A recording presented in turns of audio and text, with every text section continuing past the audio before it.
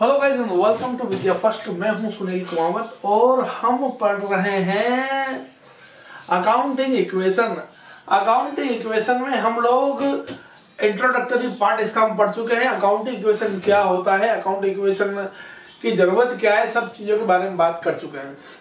अब accounting equation का part number two में हम लोग एक क्वेश्चन सोल्व करेंगे। बड़ा ही छोटा सा क्वेश्चन है। क्वेश्चन नंबर फोर तो आप देखिए, आपके स्क्रीन पर आएगा क्वेश्चन नंबर फोर आप इसको, आप स्क्रीनशॉट भी ले सकते हैं. क्वेश्चन नंबर फोर आप पढ़िए.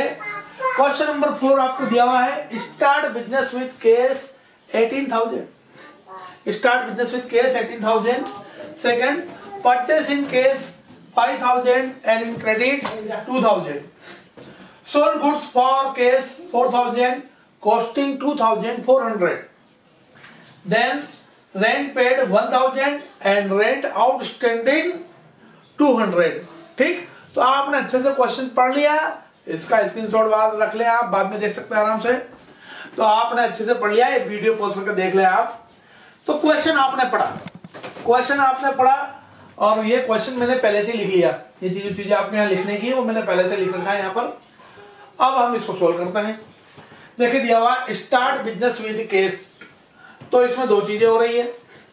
एक तो ये कि बिज़नेस में पैसा आ रहा है असेट बढ़ रही है, और दूसरी चीज़ जो पैसा हम लगाते हैं मतलब जो पैसा बिज़नेस के ओनर लगाता है, उसको हम कैपिटल बोलते हैं। तो कैपिटल भी बढ़ रही है तो असेट बढ़ रही है, और लाइबिलिटी भी बढ़ रही है। तो मैंने एटीन थाउज़ेंड यहाँ पर लिख दिया केस में, और फिर एटीन थाउज़ेंड मैंने यहाँ पर लिख दिया कैपिटल में। ठीक है? कोई दिक्कत नहीं? नेक्स्ट हम बात करते हैं नेक्स्ट ट्रांजेक्शन है purchase in cash five thousand and in stock sorry in credit two thousand यानी कि टोटल हमने परचेस किया है सेवन थाउज़ेंड का. कितने का परचेस किया स्टॉक सेवन थाउज़ेंड का स्टॉक हमने परचेस किया है. जिसमें से पाँच हज़ार रुपए केस दिए और दो हज़ार रुपए हमने उधार किए. तो पहले तो हम लिख लेते हैं स्टॉक बड़ा.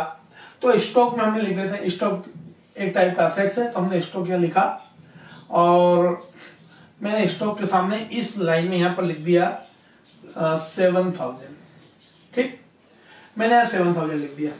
इसमें अब दो चीज़ें हो रही एक तो ये हो रहा है कि पाँच हज़ार पे जा रहे हैं केस जा रहा है। तो मैंने यहाँ फाइव माइनस फाइव थाउज़ेंड लिख दिया कि केस गया पाँच हज़ार रुपये और दो हज़ार रुपये हमें अभी किसी को चुकाना बाकी है। मतलब हमने उधार ले लिया है, उसको चुकाना बाकी है। अब जो हमें क्रेडिट दे जो हमें क्रेडिट दे, वो कौन है? क्रेडिटर है। क्रेडिट देने वाला क्रेडिटर है। तो ये जो दो हज़ार रुपए का अमाउंट है, वो मैं कहा लिखूँगा? मैं वो लिखूँगा क्रेडिटर में। कि दो हज़ार रुपए से क्रेडिटर बढ़ गए और पाँच हज़ार रुपए से हमारा केस कम हो गया। इस तरीके से हमारे पास सात हज़ार रुपए का स्टॉक टोटल आया। अब अकाउंट इक्वेशन का मतलब क्या? ऑलवेज इक्वल इक्वल देखो, ये minus five thousand plus seven thousand करेंगे तो कितना आएगा? टू थाउज़ेंड तो असेट साइड टू थाउज़ेंड है। और लाइबिलिटी साइड भी थाउज़ेंड बराबर होगी बात। ठीक? दो ट्रांजेक्शन के बाद में हमने क्या करना है? हमें लाइन खींचना है और न्यू इक्वेशन बना लेना है। लाइन खींचेंगे और न्यू इक्वेशन लिखेंगे। New equation eighteen minus five हो गए तो बचा कितना? थर्टीन थाउज़ेंड फिर बैंक में अभी कुछ भी नहीं है डेटर में कुछ भी नहीं है स्टॉक में सेवन थाउज़ेंड है। तो ये लिख लिया मैंने। फिर क्रेडिटर में टू थाउज़ेंड इधर है, बाकी इधर कुछ नहीं है। एटीन थाउज़ेंड ये है। तो एटीन और टू ट्वेंटी थाउज़ेंड है और ये इधर भी ट्वेंटी थाउज़ेंड है। ठीक? नेक्स्ट जो है नेक्स्ट जो ट्रांजेक्शन दे रखा उसको पढ़ाए आप sold goods for cash four thousand costing two thousand four hundred हमने गुड्स सोल्ड किया सेल किया, और वो भी कैश में सेल किया। और कैश में सेल किया और कॉस्टिंग कितनी है उसकी? टू थाउज़ेंड फोर हंड्रेड यानी कि चौबीस सौ रुपए के माल को हमने बेच दिया चार हज़ार रुपए में। तो भाई चौबीस सौ रुपए के माल को चार हज़ार रुपए में आप बेचोगे तो आपको फ़ायदा हुआ। फ़ायदा कितना हुआ? फ़ायदा हुआ आपको सिक्सटीन हंड्रेड का सोलह सौ रुपए का आपको फ़ायदा हुआ।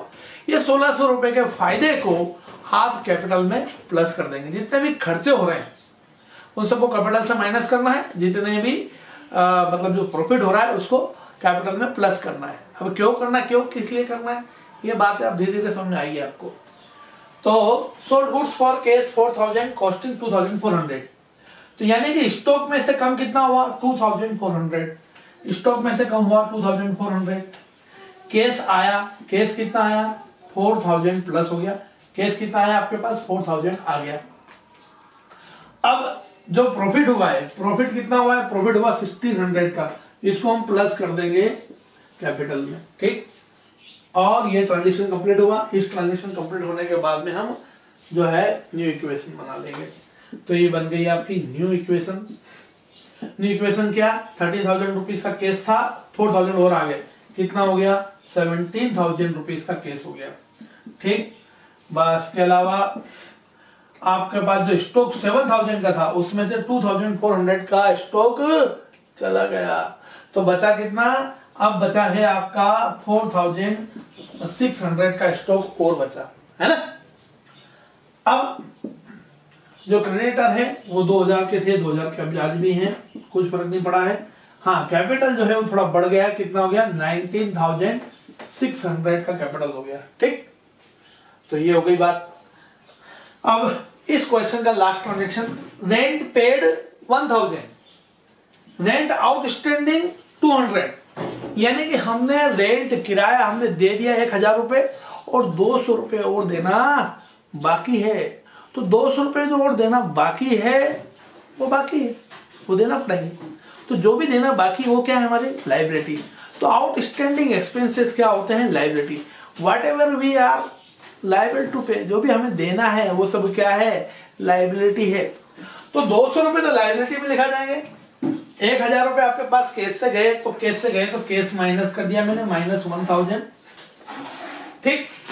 और दो सौ रुपए लाइबिलिटी में लिखा जाएगा नहीं आउटस्टैंडिंग लाइबिलिटी आउटस्टैंडिंग एक्सपेंसेस में मैंने लिख दिया। कितना? आउटस्टैंडिंग एक्सपेंसेस में लिख दिया टू हंड्रेड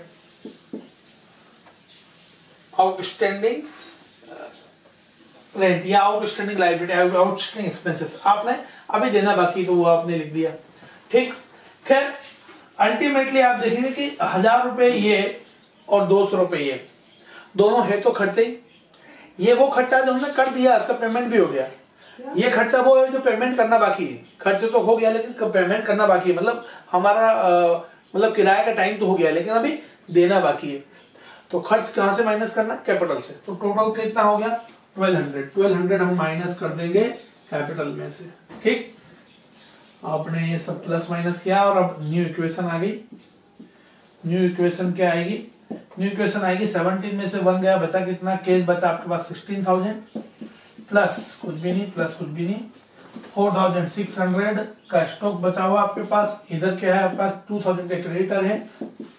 दो सौ रुपए का आउटस्टैंडिंग एक्सपेंसेस है। और आपके पास में ट्वेल्व हंड्रेड रुपीज़ जा चुकी मतलब माइनस हो गए इसमें से।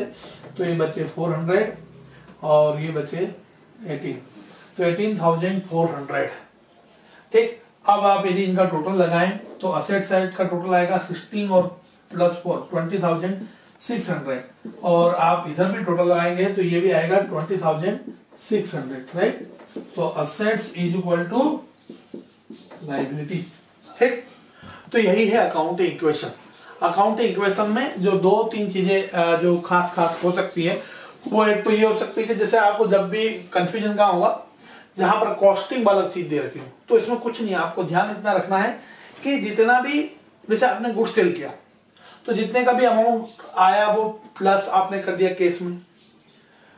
कॉस्टिंग जितने की, वो अपने माइनस करेंगे किसमें से? वो माइनस करेंगे स्टॉक में से। ठीक?